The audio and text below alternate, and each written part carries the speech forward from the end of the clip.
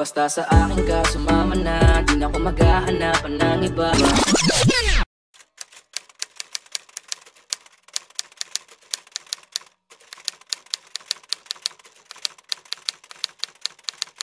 So what's up mga papi? It's Papi in the house again. So yun nga mga papi. Ang pinaghalo-halo. May pellet. May breeder, may flyer. May mais na durug-durug.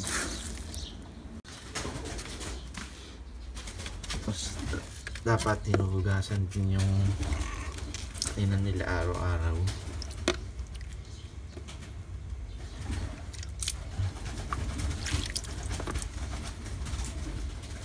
kung may mga pupo-pupo kung may mga ipot nila dapat matanggal yun dapat walang pupo sa loob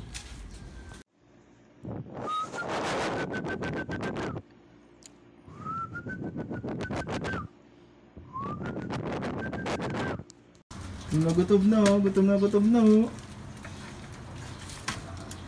Yan mga papi, malalaman niyo pag gutom na gutom na sila. Tag! Yan, naka, nasa pintuan. So yun nga mga papi sa mga unang ah, kalapate para mapabatcher nyo eh pagpapakainin nyo dapat mas maganda kung hand fed eh. Ah, gugutumin nyo sila. Pag gutom na gutom niya, ilagay nyo sa kamay nyo tapos kumain sila sa kamay mo. Or dapat nandun kapag kakain sila para hindi sila ilang. Masanay sila na andun kapag kakain sila. Um, para masanay rin sila sa'yo, no?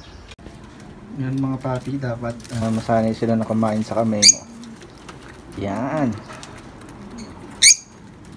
Yan magpa-batcher.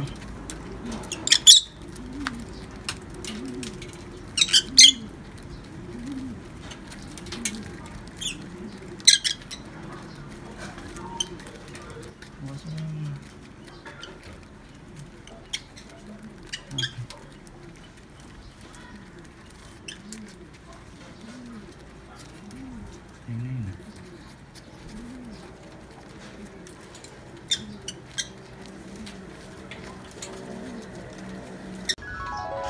So, ganun din mga papi. Kaya, masarap pag-alaga ng kalapate na mahirap. ako nakamas ako kasi may hika ako. Hindi ko alam kung dahil nga sa kalapate.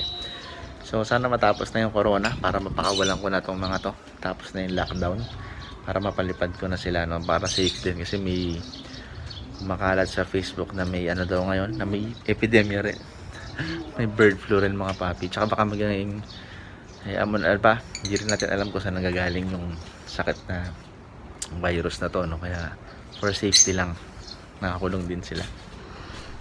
So mga papi maraming maraming salamat. Kita kita tayo sa aking next vlog.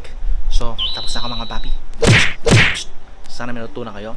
Huwag niyong kalimutang mag-like mga papi at subscribe ang channel ko. Pindutin lang yung subscribe button mga papi. Madali lang yun mga papi. So at i-share sa ating mga kaibigan. So, papapapush mga papi. Papapapush.